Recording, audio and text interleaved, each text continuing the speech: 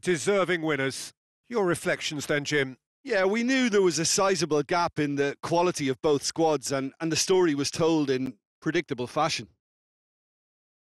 And that's where we have to end it. From me, Peter Drury, and my co commentator, Jim Beglin, a very good evening to you all.